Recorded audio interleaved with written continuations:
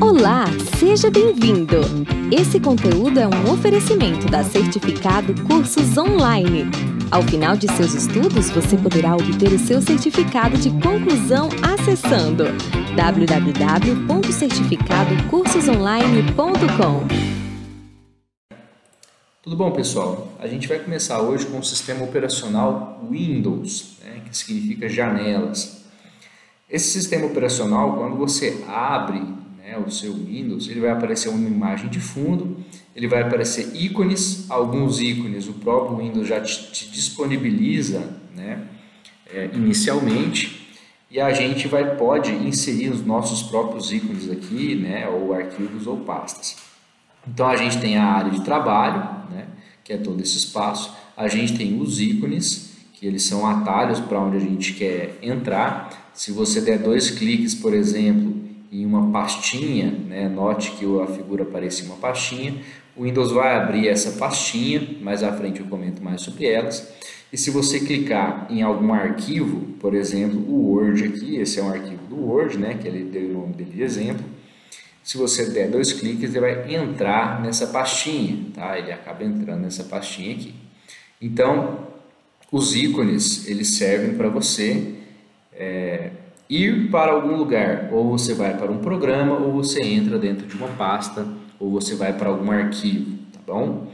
É, nessa parte aqui embaixo a gente tem o menu iniciar, o menu iniciar quando você clica nele, você vai verificar que ele tem uma série de opções, ele apresenta vários aplicativos aqui no lado esquerdo, e esses aplicativos são, você pode clicar neles a qualquer momento e abrir qualquer um desses aplicativos, por exemplo, eu vou clicar aqui para vocês verem, ó, cliquei em calculadora e ele vai abrir um, aplicativo com a calculadora, né? Ela está ajustada para científico, você pode mudar, mas à frente eu comento mais sobre isso.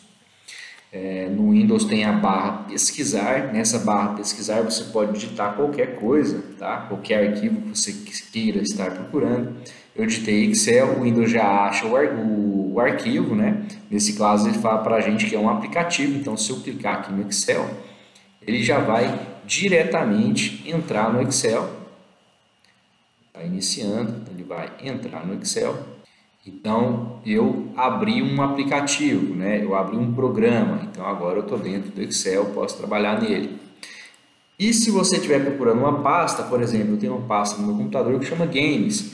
Você digita o nome da pasta e ele também acha essa pasta e quando você clicar, você vai ser direcionado para essa pasta aqui, tá bom?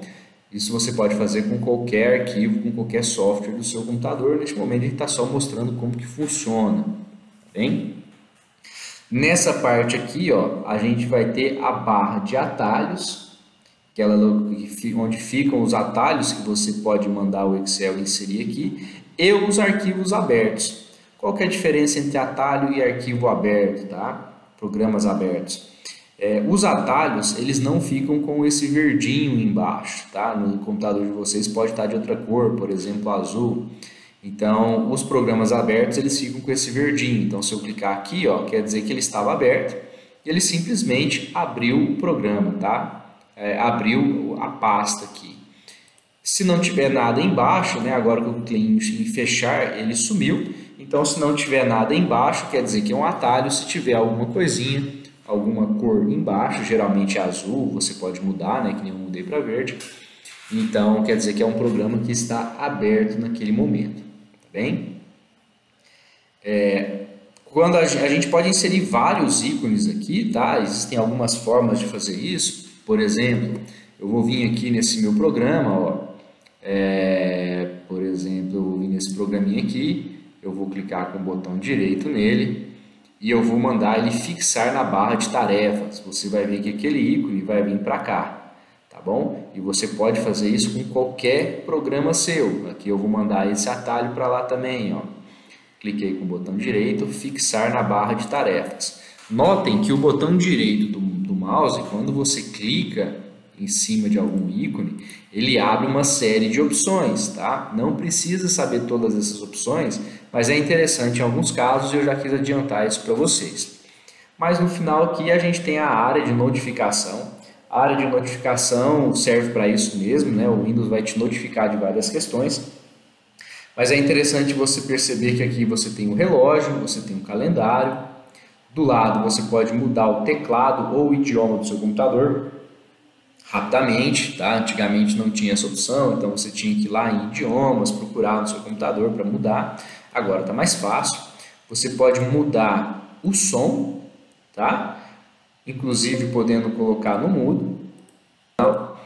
Aqui é o ícone mostrando que a internet ela está acessível, tá? Quando ela, a wireless ela está com essa configuração aqui, com esse ícone, quer dizer que você está acessado, está dentro da rede mundial de computadores, está dentro da internet.